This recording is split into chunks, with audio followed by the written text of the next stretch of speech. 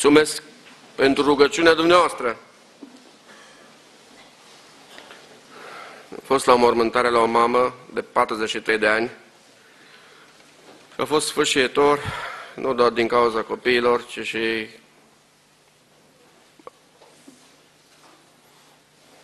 a ceea ce a lăsat în urmă. Cu cât ne grăbea mai mult, un alt caz de moarte, un accident sau aproape mortal, blocat drumul, dar am auzit că v-ați rugat și la un moment dat am simțit că zburăm printre mașini pe acolo. Mulțumesc, Domnul să binecuvânteze! Tema la conferința aceasta, hai să recapitulăm tema, spuneți dumneavoastră care este tema la ora de o 6. Citiți, vă rog. Ochii între lumină și întuneric. Mă, nu știu, dacă ar trebui să alegeți să fiți orb sau surs, ce ați alege? Dacă ar trebui din astea două, știi că Domnul i-a zis uh, lui David, David alege una dintre ei. Alege, trebuie să aleagă. Ce ați alege? Surs sau orbi? Să vedem cine ar alege să fie orb. Surs? Da, uite ceilalți. Cred că și eu la fel. Aș prefera să-mi păstrez lumina ochilor. Deși e foarte important și să auzi o muzică bună și mai ales uh, grupurile de la dumneavoastră și corul, plăcere să... Ochii. Dar ce te faci când ești orb din naștere? Subiectul mesajului este următorul. Orbul cerșetor. Să fii orb, să fii cerșetor. Orbul cerșetor. Această sintagmă, această expresie arată starea sufletului nostru. Nu vreau să zic starea poporului nostru, deși nu suntem departe de expresia orbul cerșetor. Să fii sărac și să fii orb. Să cerșești. Hristos iubește orbii. Dar există ochii fizici și există ochii inimii.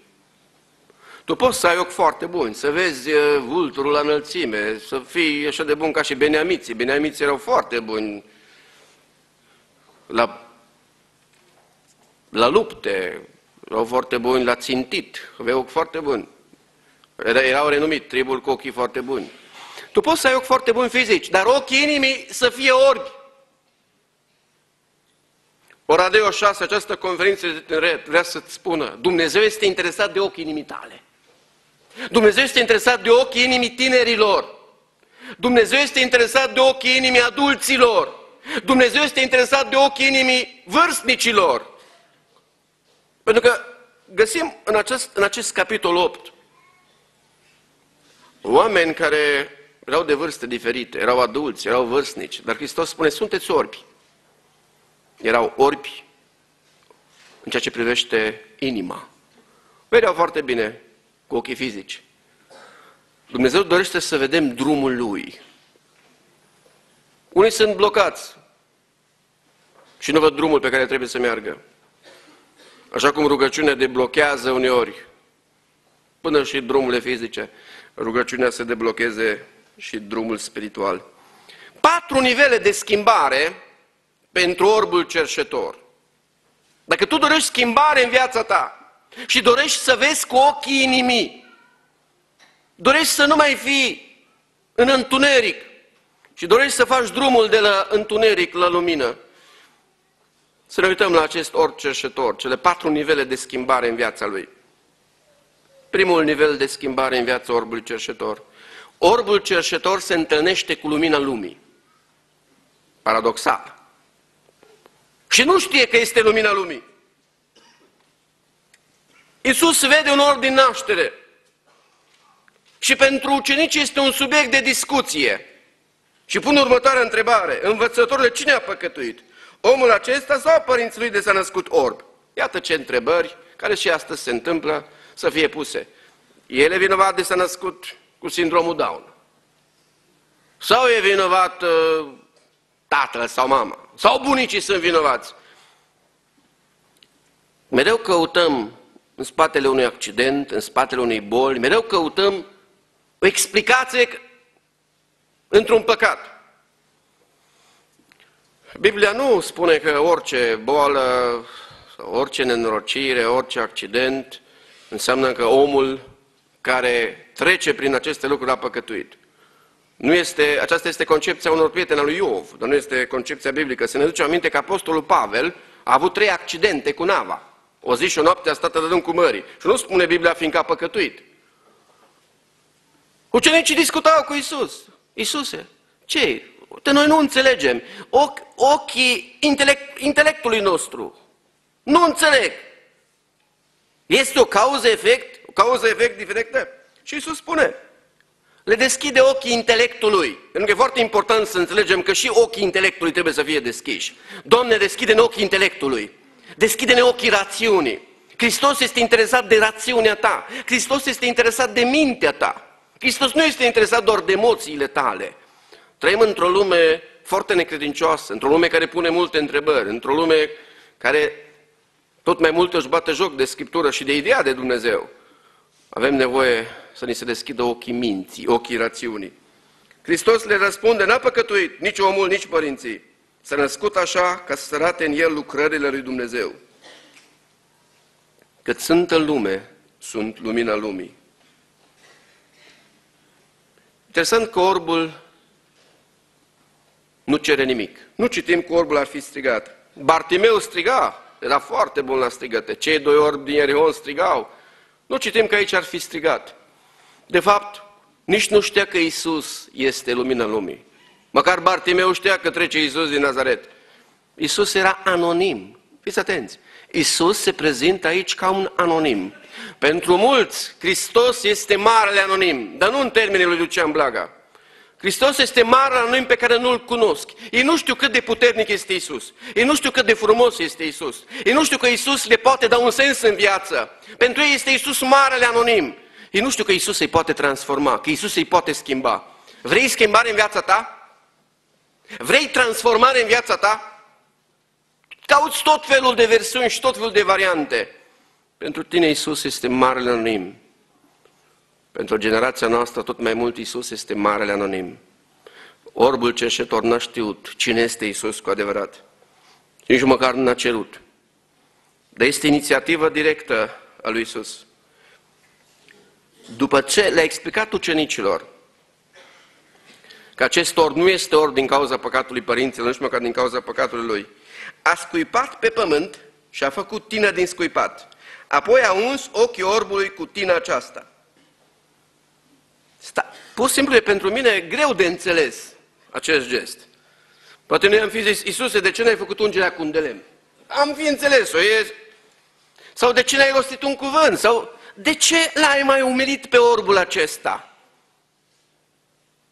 Nu îi se pare umilitor să faci tină din scuipat, să ungi ochii orbului cu tine aceasta?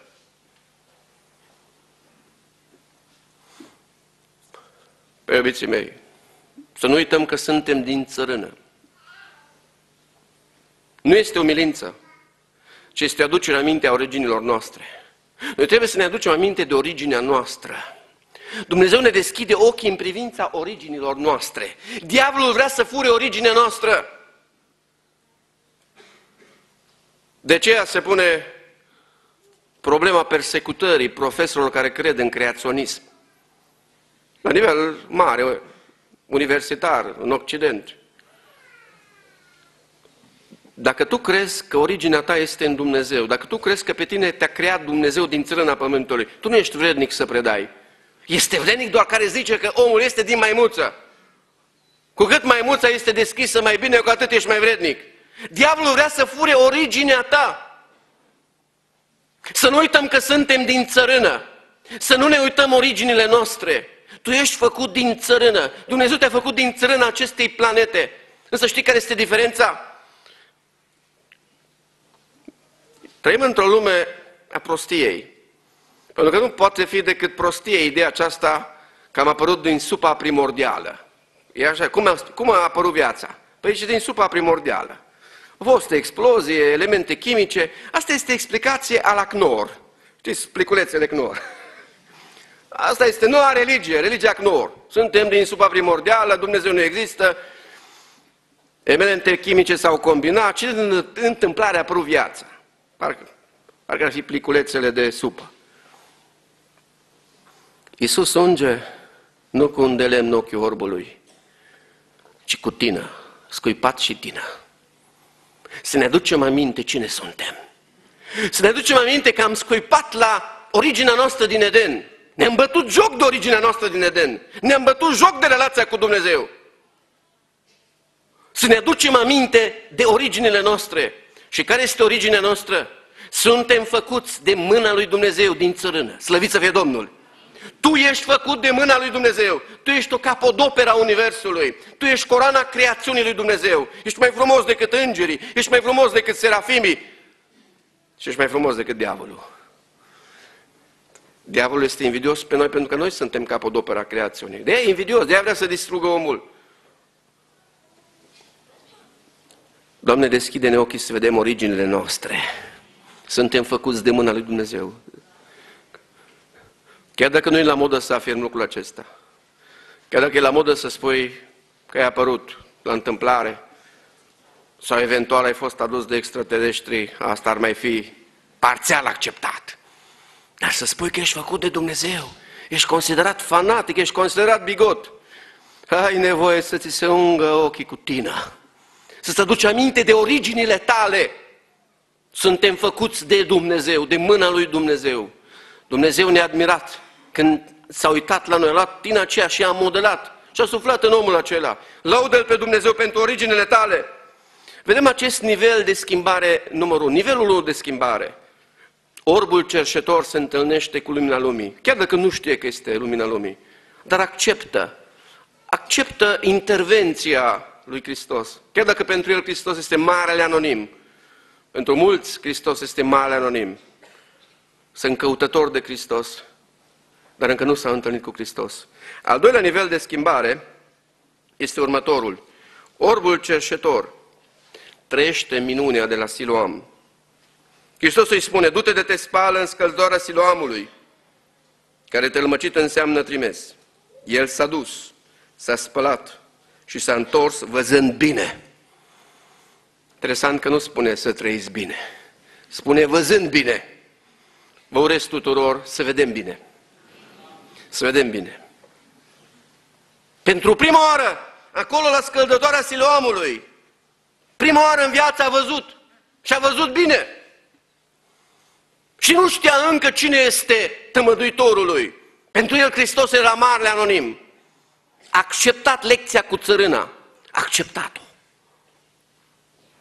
Acceptat această unire cu țărâna. Dar este și o lecție a credinței. Hristos i-a zis doar atât. Du-te de spală în scăldătoarea siloamului. Aici este marea lecție a mântuirii prin credință. Minunea de la Siloam, când acest orb care avea ochii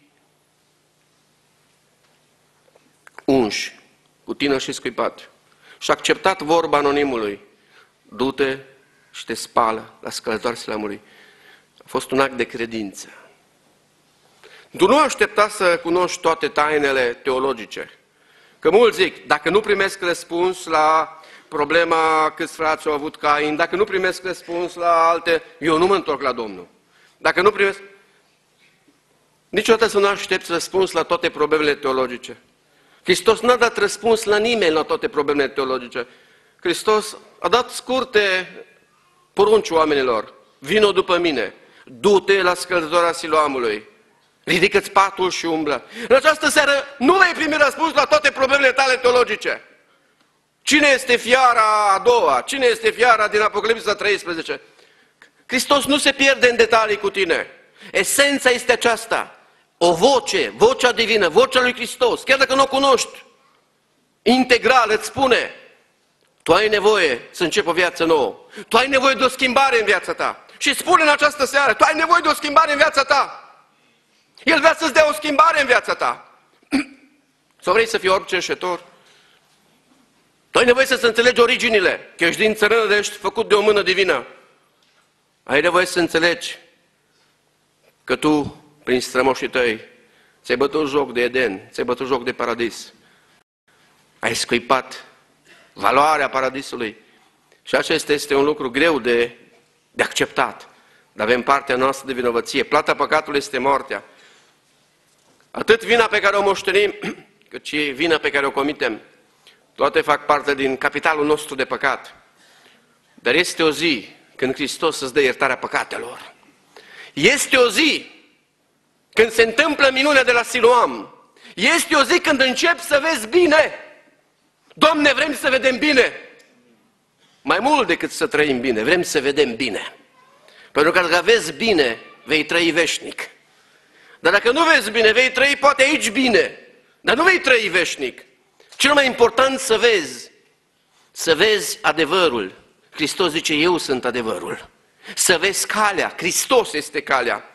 Să vezi viața, Hristos este viața. Rog aminte de o pagină din viața lui Sadhu Sundar Singh. Sadhu Sundar Singh, cunoscutul predicator indian creștin care a vestit Evanghelia și a fost însoțit de semne și minuni. A fost un om care n-a văzut bine. A aruncat Noul Testament în foc. Și a vrut să se sinucidă. Și a planificat sinuciderea. Dar la un moment dat a mânat. Parcă era o mână divină care îl oprea de la sinucidere. Și dintr-o dată Dumnezeu a dat această lumină divină. I-a deschis ochii să vadă. Isus este Hristosul. Și nu s-a mai sinucis. A devenit omul care a predicat Evanghelia în lumii imposibile. Predicat Evanghelia cum nimeni n-a predicat-o. În India, în vremea aceea. Cu putere. Pentru că a venit o zi în care a văzut bine. Poți să arăți frumos, poți să fii religios și să nu vezi bine cu ochii inimii. O Radio 6 ne cheamă să vedem bine. Să vedem bine pe Hristos. Să vedem bine drumul spiritual pe care trebuie să mergem. Să vedem bine adevărurile spirituale, să vedem bine prioritățile, să vedem bine planurile lui Dumnezeu, să vedem bine. Avem nevoie de experiență de la Siloam, să vedem bine. Mai mult decât să trăim bine. Pentru că s-ar putea, când vezi bine, să suferi. Când vezi bine, să-ți iei crucea și să-L urmezi pe Hristos. Când vezi bine, să fii batjocorit. Când vezi bine, chiar să mor ca martir. Și astăzi sunt țări de creștinii, sunt torturați, amenințați. Dacă ne gândim la teroarea care este în Irak, biserici asediate, creștini asasinați, biserici incendiate, numărul creștinilor din Irak a descrescut fantastic de mult în ultimul deceniu pentru că sunt terorizați. Fiindcă văd bine. Fiindcă văd bine că Isus este Hristosul și nu este alt mântuitor în afară de El. De aceea ei trebuie să fie persecutați și să dispară. Măcar prin emigrație sau să dispară asasinați. Pentru că atunci când vezi bine cine este Hristosul, trebuie să plătești un preț. Când începi să vezi bine pe Hristos și adevărurile lui Hristos, nu este un lucru gratuit.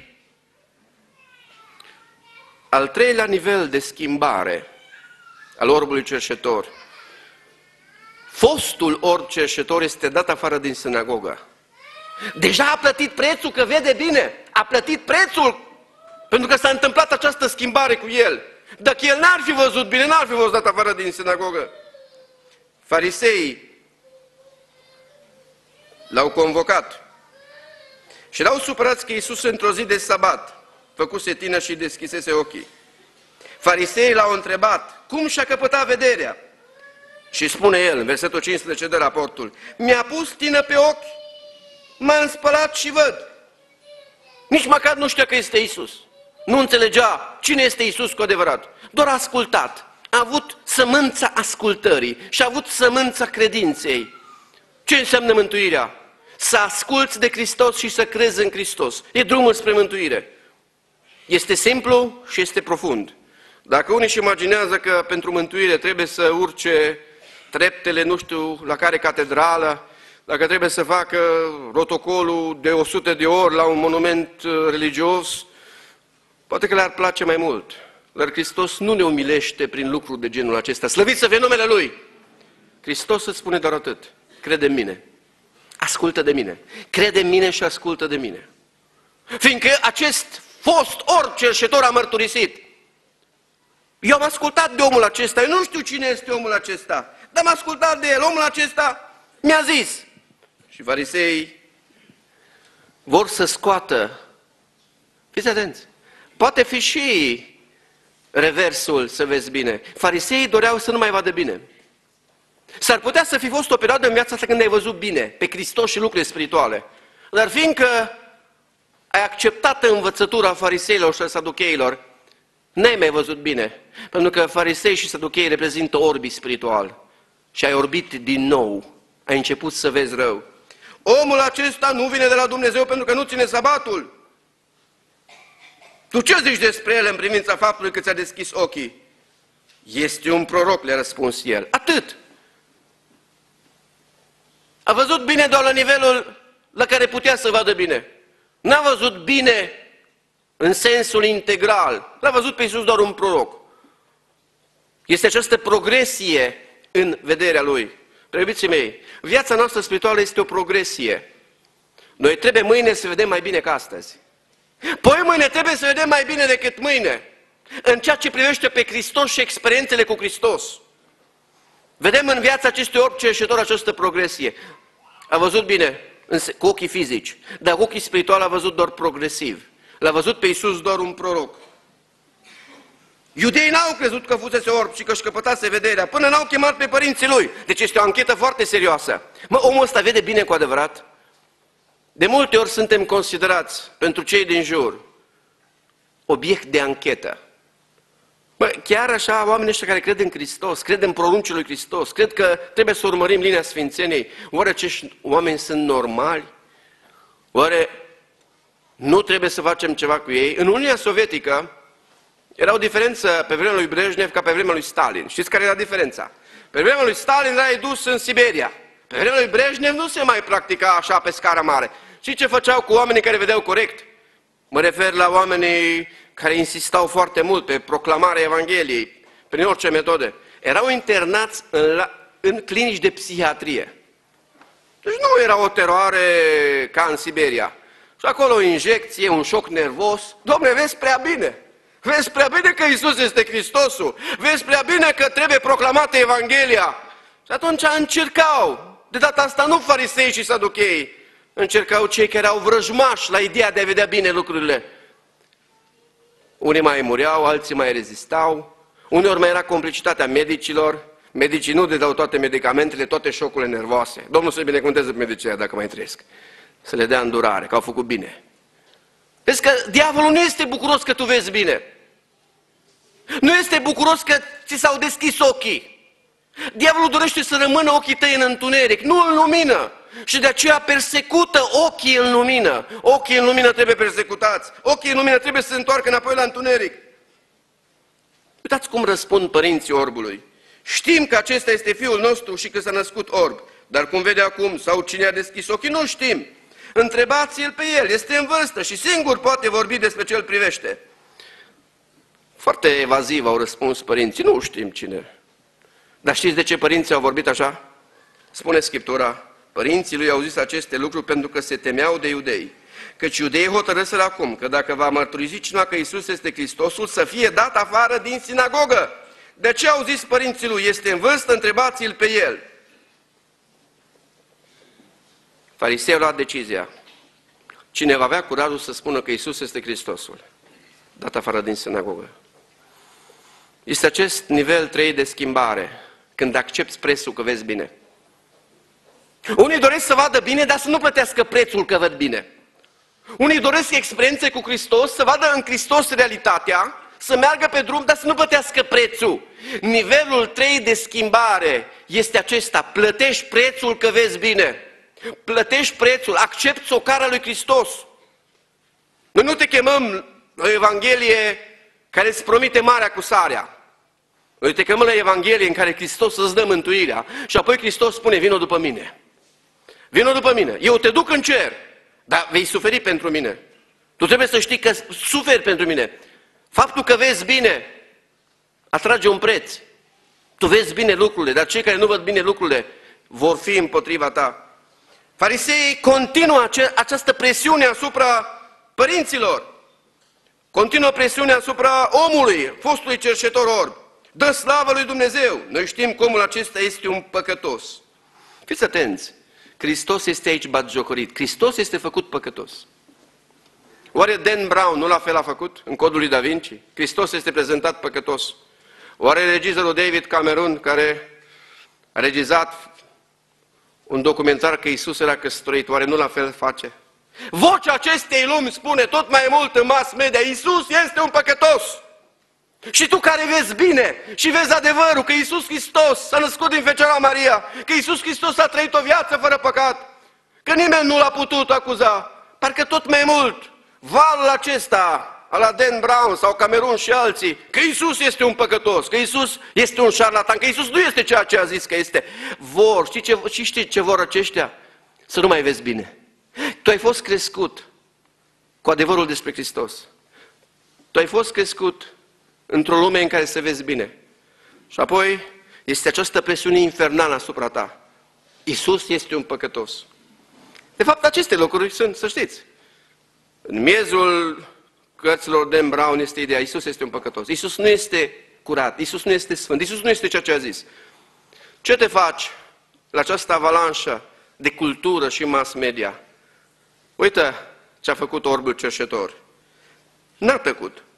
N-a zis că Isus este un păcătos. Și zice, dacă este un păcătos, nu știu, eu nu știu. Că eram orb și acum văd.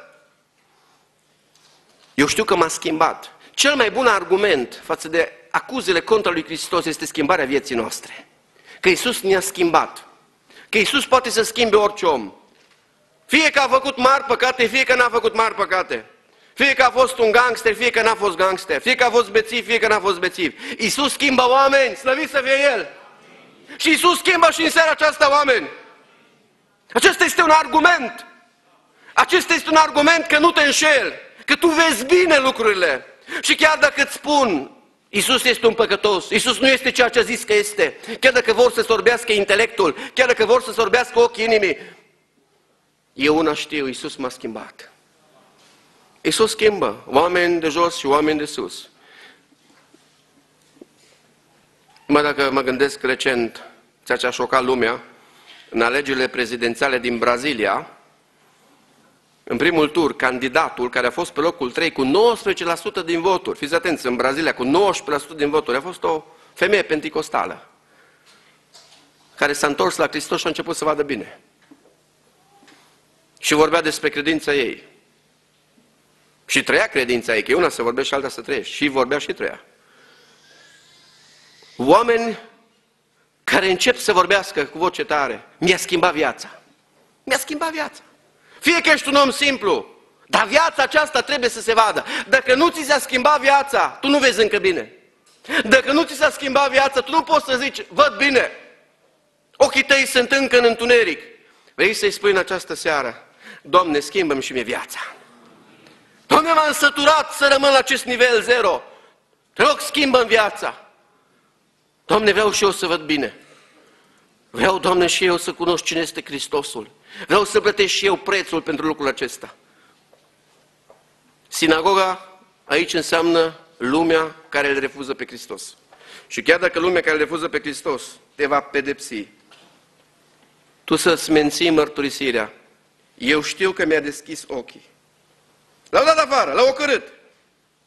Și l-au dat afară din sinagogă. Nivelul 4 de schimbare este următorul.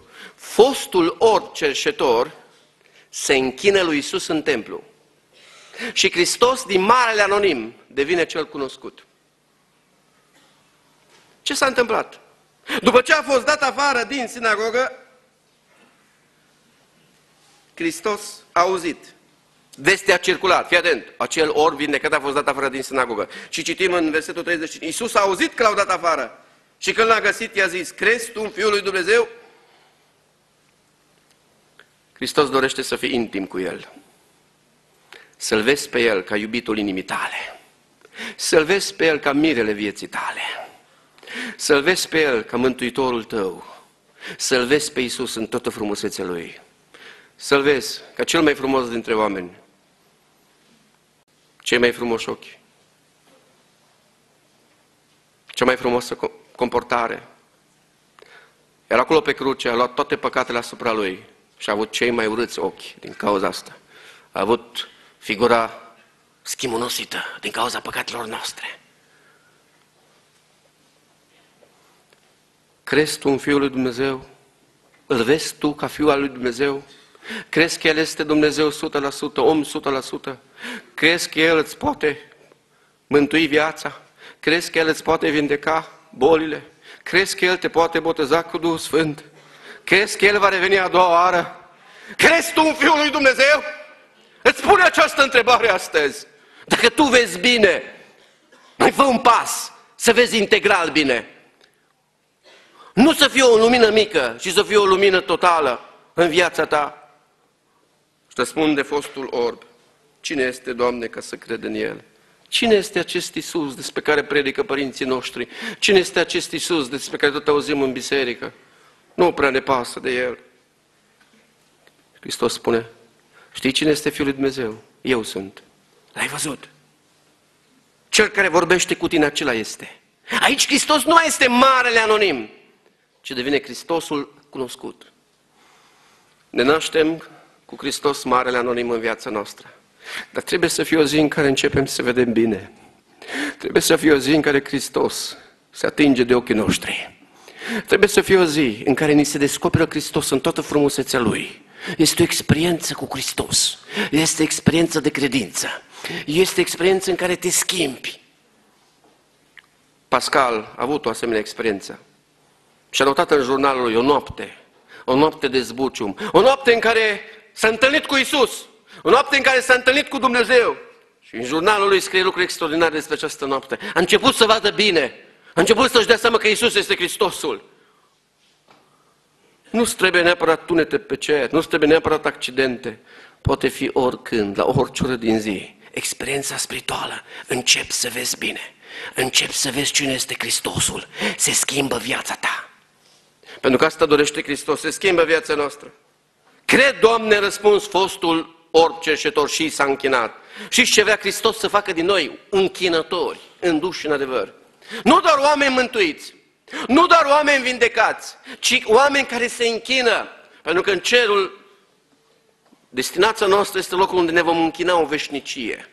Tatăl dorește închinător în duș și în adevăr. Și ce înseamnă să te închini cu toată ființa ta?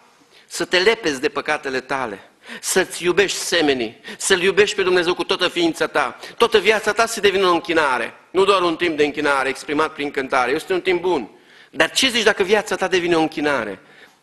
Cu toată ființa ta lauzi pe Dumnezeu. Te aduci pe tine însuți ca jertfă lui Dumnezeu. I s-a închinat.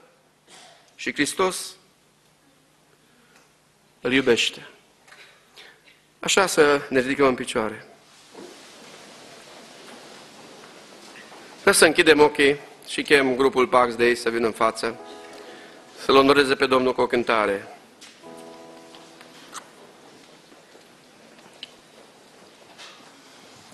Așa cum stăm capetele plecate să ne gândim, nu ești tu orbul cerșetor? Nu ești tu orbul cerșetor care nu vede bine, n-are cum să vadă. Dar este un moment al siloamului, când începi să vezi bine. Când ochii tăi trec de la lumină la întuneric. Cântă această cântare și apoi vrem să ne rugăm pentru tine. Că vrei Dumnezeu să atingă de viața ta, să te mântuiască. Dacă vrei ca Dumnezeu să aducă schimbare în viața ta. Mă curății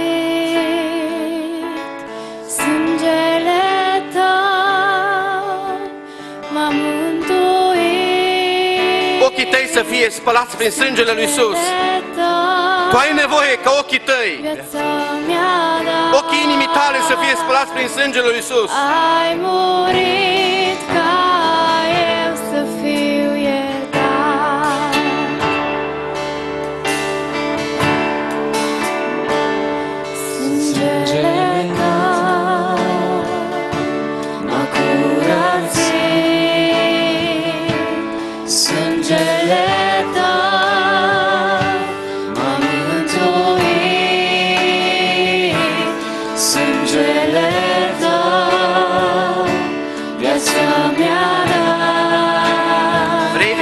seara aceasta? Ai